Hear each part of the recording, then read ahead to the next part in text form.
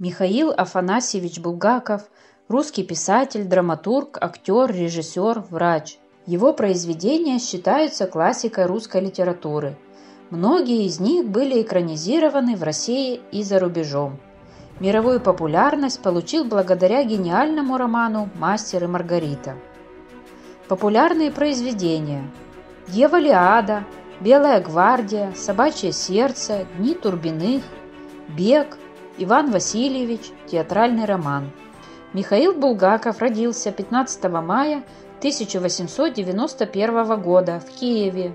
В семье было семеро детей. Михаил был старшим ребенком. Отец Афанасий Иванович Булгаков, доцент Духовной Академии. Мать Варвара Михайловна Покровская, преподаватель женской прогимназии. В 1901 году Булгаков начал учебу в первой киевской гимназии. В семилетнем возрасте Миша написал свой первый рассказ под названием «Похождение Светланы». Мальчик много читал и имел отличную память. Будучи восьмилетним ребенком, он прочел роман «Собор Парижской Богоматери» Виктора Гюго. Через 8 лет поступил на медицинский факультет Киевского университета, который окончил с отличием в 1916 году. На выбор профессии, скорее всего, повлияло то, что в семье было много медиков. Позже свою врачебную практику он опишет в произведениях «Записки юного врача», морфий и собачье сердце. После получения диплома работал доктором, заболел дифтерией. Для облегчения течения заболевания умудрился пристрасти... Для облегчения течения заболевания умудрился пристраститься к морфию. Под действием порошка он написал некоторые свои произведения, но в скорости смог победить пагубную зависимость. Во время гражданской войны в 1919 году Михаил Афанасьевич работал прифронтовым медиком. Затем был призван в армию Украинской Народной Республики как военный врач, а позже в армию Южной России. Принимал участие в боевых действиях и успевал печататься в газете «Грядущие перспективы». В 1921 году Булгаков перебрался в Москву, и начал бурную литературную деятельность. Его работы, по большей части филитоны и репортажи, издают несколько популярных на то время изданий России. Также он публикуется в берлинской газете «Накануне». В 1922 году в свет выходит первая повесть писателя «Похождение Чичикова». В 1923 году Булгаков вступает во Всероссийский союз писателей – и у него начинается активная фаза в творчестве. Из-под пера выходят произведения, которые многие считают гениальными. «Дьяволиада», «Собачье сердце», «Роковые яйца», «Белая гвардия», «Бег». В 1926 году по личному указанию Сталина в Амхате состоялась премьера пьесы «Дни Турбиных». Но в последующие годы из-за того, что в произведениях прослеживался антисоветский след, отношение власти к писателю изменилось. Булгакова активно критикуют и несколько раз вызывают на допросы.